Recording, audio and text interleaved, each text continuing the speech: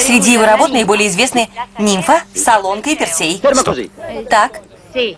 Что замолчали? Читайте. Читать? Да.